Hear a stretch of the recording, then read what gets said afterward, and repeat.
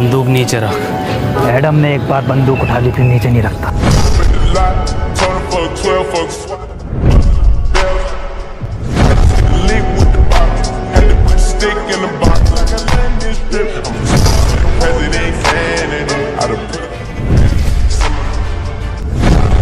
so that's why she pick a crit. Shawty call me Crisco, cause I pop my shit.